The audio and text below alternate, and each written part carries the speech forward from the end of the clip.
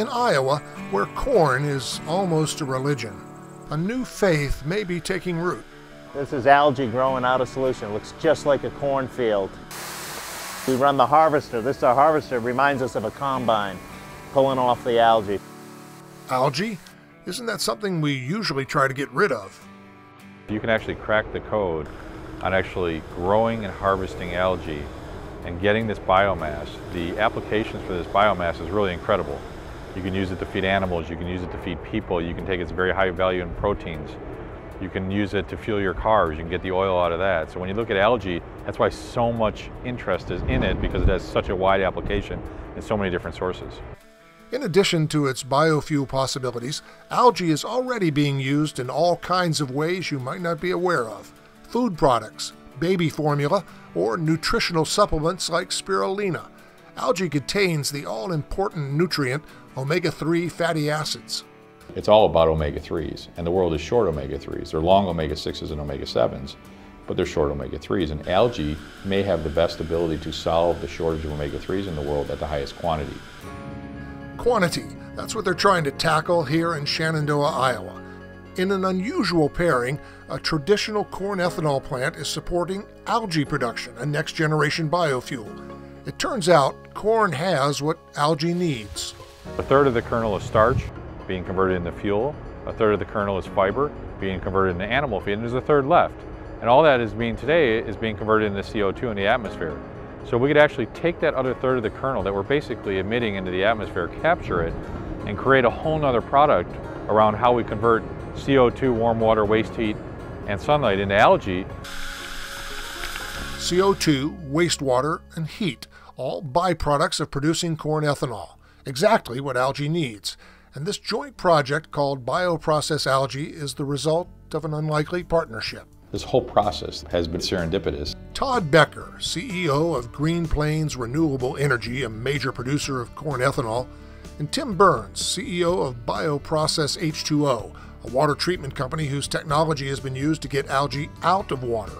How to keep algae out of wastewater systems. We have a lot of knowledge, and that knowledge gave us the opportunity to bring it into how we can grow algae, and we knew that with our system. The heart of it is attached growth. We have a system in which we provide a lot of surface area for the algae. Basically, think of a condominium for the algae to reside on. And that condominium provides a lot of surface area, so we have a big mass transfer device. Think of it that way. So on a typical open pond system, which algae is traditionally grown on, we would be about 40 times the surface area of a system. So it gives us a lot of opportunity to be more cost effective. Let's say an acre of land. An acre of land that produces corn today in the United States produces seven tons per acre. Our goal in these reactors is to get 15 to 40 tons per acre of product. And instead of a once a year harvest, algae is harvested several times a week. The idea of getting gas and oil from algae is really not new. In fact, it's millions of years old. All our oil today is ancient algae deposits, compaction of hundreds of millions of years of riverbeds and compaction of algae already.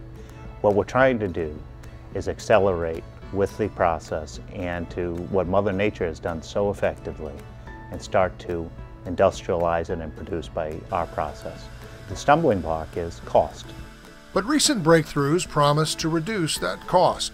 At the Pacific Northwest National Laboratory, researchers have developed a technology that uses extreme pressure and high temperatures to accomplish in minutes what nature has done over millions of years convert algae into oil. Still, to be cost effective, algae needs to be grown in high volume, and co locating algae production with a corn ethanol plant might point the way. You basically can use free inputs, the sunlight, wastewater, warm water, heat, and CO2, and there's a lot of all of that available. And so if you actually combine all that, you actually take something that is really free and you're going to create something with a lot of value. And in the process, they just might be teaching the rest of the world a new way to look at that greenhouse gas, CO2. Instead of a pollutant, it could become a product. If you think about the ability to utilize greenhouse gases and CO2, Algae, in my opinion, is the only profitable use of CO2 currently on the market. So if you're able to profitably use that CO2 portion, that's going to give you opportunity to mitigate the rest of the CO2 emission. Reducing CO2 emissions while growing a renewable and sustainable fuel source that could mean less expensive gas. That is the promise of algae. It may be a while before algae dethrones corn in this part of the world, but as this remarkable experiment is demonstrating, there's no reason they can't get along.